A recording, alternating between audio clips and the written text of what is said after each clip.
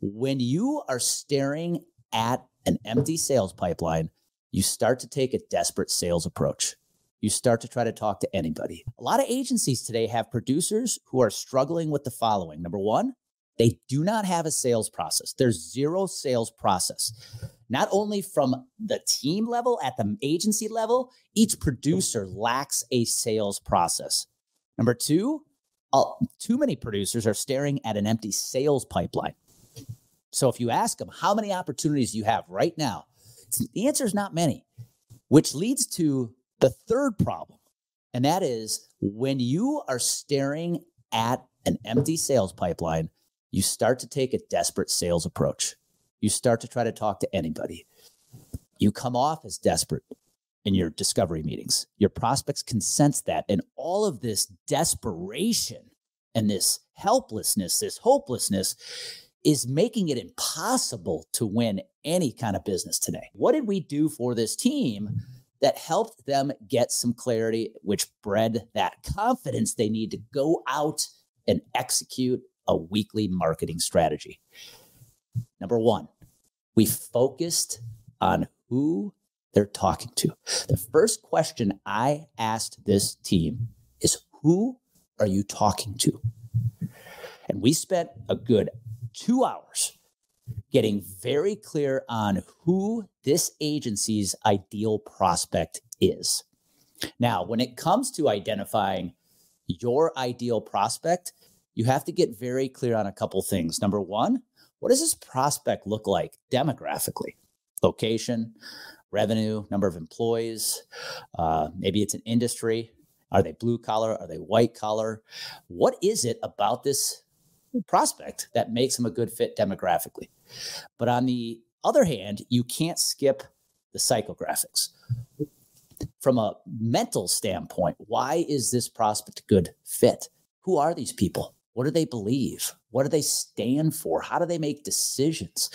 You see, the reason we have sales success in the first place is because we find people we can work with who are like us. It's that simple. We find people like us. And if you can get clear on who you're trying to target, especially within the psychographics, go find people who stand for what you stand for, who believe in what you believe in. This is where you start building a much clearer picture about who you are targeting. Now, the second question that we spent a copious amount of time on and got very clear on is what are you saying to them? So once you've figured out who you are talking to, now you got to figure out what you're going to say to them. And what this team learned was a very important marketing tip that more agencies need to hear. And that is whose story are you telling? If you look at 95% of the insurance agencies in this industry and you look at their marketing, most of them, 95% of them, are talking about themselves. All of their marketing talks about the agency, how long they've been around, how many resources they have, all their affiliations and partnerships. And they're constantly making them the hero of their own story. When the solution, the answer, the unlock is just shifting all of your marketing to your prospect story. You see, you're not the hero of this story. Your prospect is the hero of their story. The only thing your prospect cares about is what's in it for them. They don't care how long you've been around. They don't care how big you are. They don't care about all your resources. They want to know what's in it for them. And so we got very clear about what this team is going to be saying to attract the ideal prospect. So we built the ideal prospect story.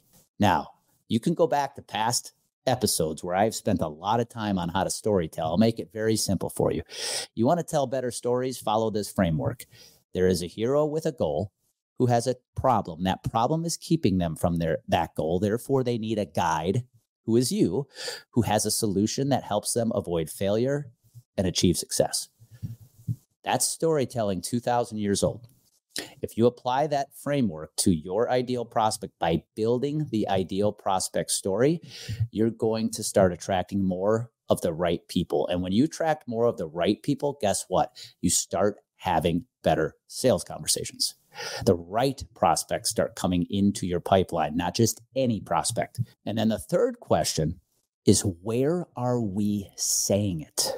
So once we've uncovered who we're talking to, what we are saying to them, the third question you have to be very clear on is where are you going to say it?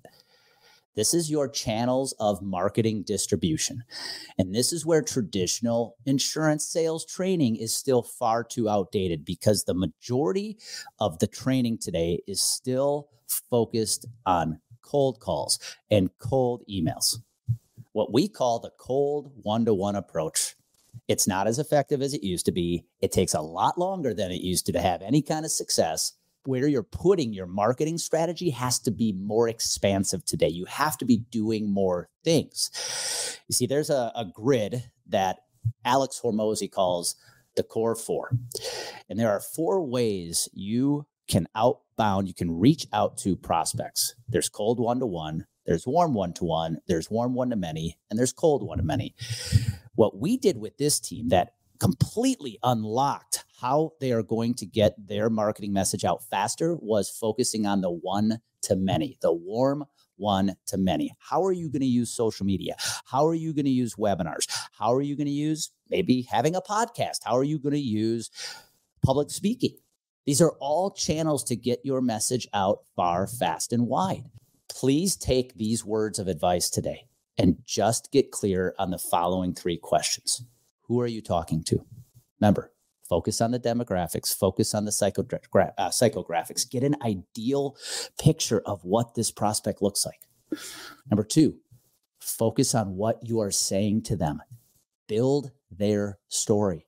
And number three, have a clear plan of where you are going to say it. Whether you decide to use cold calls, cold emails, referrals, social media, webinars, I don't care.